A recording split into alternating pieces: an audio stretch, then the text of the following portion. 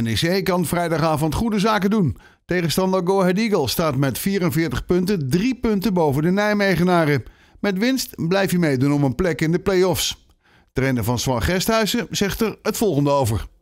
Uh, de komende weken worden cruciaal uh, voor het slot van de competitie. Uh, ik neem aan dat het goed is om wat punten te pakken tegen de top 6 nou. Ja, het is goed om iedere week punten te pakken, toch? Tegen wie dat ook is. Krijg je een hele, hele zware serie inderdaad. Ja goed, dan kun je ook zeggen, dan krijg je op papier er wat minder aan het einde van het seizoen.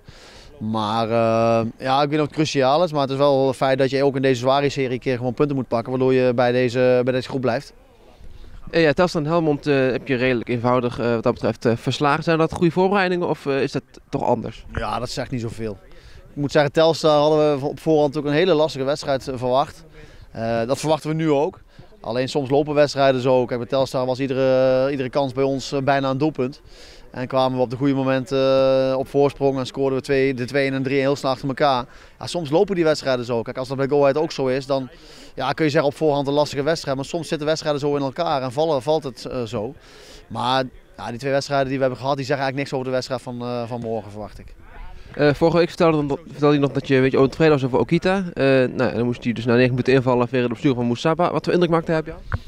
Nou ja, goed ontevreden. Kijk, uh, wat mindere, mindere fase gehad. En uiteindelijk daarvoor, kort daarvoor een blessure. Waardoor hij de wedstrijd ervoor niet bij de selectie uh, zat. Vanwege die blessure.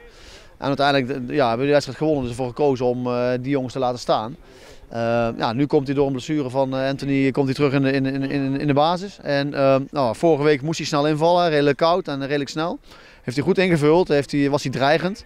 Ja, uiteindelijk, en dat, dat vindt hij zelf ook, moet hij uit die kansen die hij heeft gehad, moet hij ook wel een goal maken. Ja, uiteindelijk moet je jezelf ook wel belonen. Maar je ziet wel dat hij heel erg dreigend is met zijn snelheid. Ja, Moussaba is dus vier tot zes weken uit, uh, wordt gezegd. Uh, verder zijn er wat aantal mensen weer terug, dus uh, je hebt wel weer een redelijk volle selectie.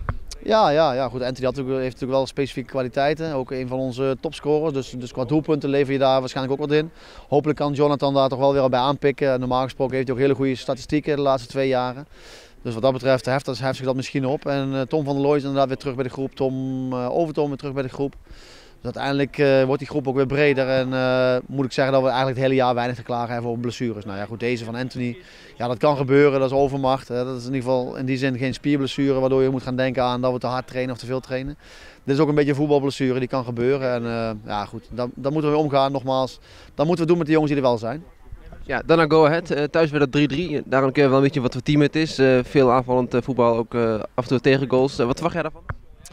Ja, ze hebben natuurlijk een, een hele goede serie gehad met heel veel wedstrijden. Dat ging al vanaf vorig seizoen ongeslagen. Daar zaten wel veel gelijke spelen ook bij. Maar het is gewoon een hele lastige, lastige ploeg. En zij spelen thuis, dus ook in de Adelaarshorst is het altijd lastig.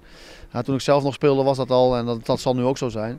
Laatste weken hebben ze wel wat meer uh, wat, wat puntjes verloren. Maar goed, uiteindelijk uh, gaan we vooral kijken of dat, of dat bij hun ja, invloed heeft dat ze misschien wat andere jongens op gaan stellen. Maar het blijft gewoon een, een lastige wedstrijd. Maar goed, wat ik net zei, je weet nooit hoe wedstrijden verlopen. Hè. Tegen Telstar hadden we op voorhand ook het idee van het wordt een lastige wedstrijd. Dus we gaan, we gaan het zien, maar we onderschatten dat zeker niet.